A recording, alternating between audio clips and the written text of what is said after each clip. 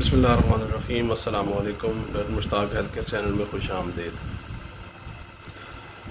ایسے تمام مریض جو پٹھوں کے درد کا شکار رہتے ہیں، جن کے جسم میں اکثر درد رہتی ہیں، صبح اٹھنے پر جسم بوجھل ہوتا ہے، اٹھنا مشکل ہو جاتا ہے۔ یہ میں نے ویڈیو آج ان کے لیے بنائی ہے کیونکہ فائبرومیلجیا کا مرض بہت عام ہو گیا ہے۔ ناظرین، فائبرومیلجیا کا مطلب یہ ہے کہ جسم کے جو ہمارے پٹھے ہیں، جو گوشت ہے، ان میں کھچاؤ یا سٹریس کا پیدا ہو جانا۔ اور یہ اس زمانے میں، اور اس دور کی بیماری ہے، جو کہ جس کی بیک اینڈ پہ، اس کی جو وجہ ہے، وہ سٹریس ہے۔ چونکہ سٹریس بہت زیادہ ہوتا جا رہا ہے کام کا سٹریس ڈپریشن اور اپنے استطاعت سے زیادہ کام کرنا، ذہنی طور پہ بہت زیادہ مصروف رہنا، ذہن کا تھک جانا۔ اور نیند کا پورا نہ ہونا ٹائم پہ کھانا نہ کھانا، یہ تمام چیزیں ہماری باڈی میں سٹریس پیدا کرتی ہیں۔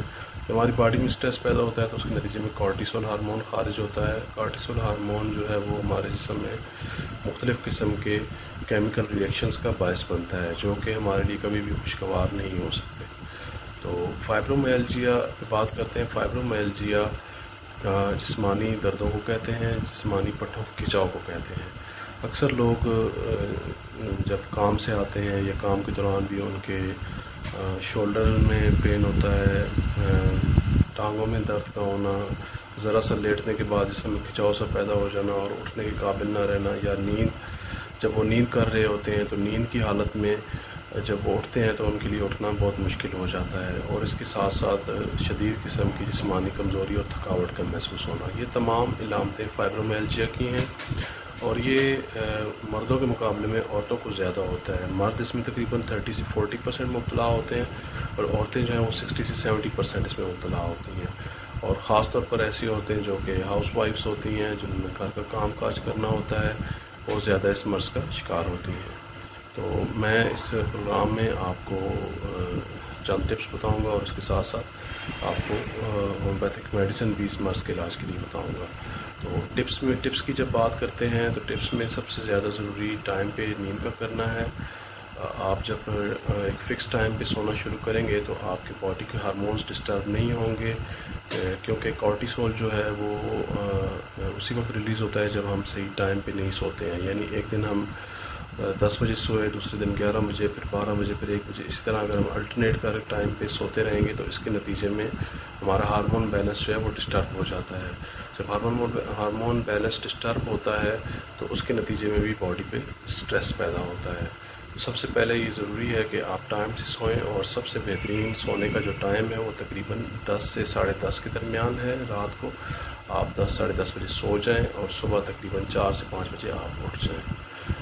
اس کے بعد جو ضروری چیز ہے وہ ڈائٹ کی ہے۔ آپ بہت زیادہ خیال رکھیں ڈائٹ کا۔ ایسی خوراک کا زیادہ استعمال کریں جو کہ نیوٹرینٹ سے بھرپور ہو، بازاری کھانوں سے، فرائڈ فوڈ سے اجتناب کریں اور کچی سبزیوں اور سلاد کا لازمی استعمال کریں۔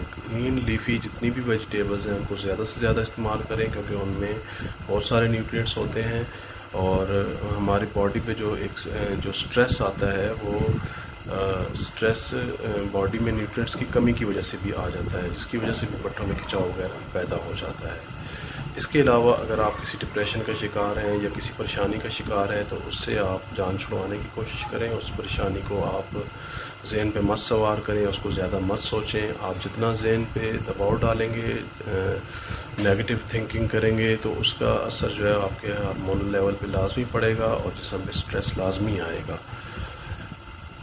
اس کے بعد اب میں بات کروں گا اس کی میڈیسن، ہومیوپیتھک میڈیسن کون سی ہے؟ تو اس کی جو ہومیوپیتھک میڈیسن ہے، ایسے تمام مریض جو جسمانی پٹھوں کے کھچاؤ کا شکار رہتے ہیں، ذرا سا لیٹ جانے کے بعد ان کے جسم میں ایک تناؤ سا پیدا ہو جاتا ہے، پٹھے درد کرنے لگ جاتے ہیں اور جیسے جسم اکڑ سا جاتا ہے اور پھر جب وہ تھوڑا سا حرکت کرتے ہیں، چلنا پھرنا شروع کرتے ہیں، جسم گرم ہوتا ہے تو ان کے وہ درد کم ہو جاتے ہیں۔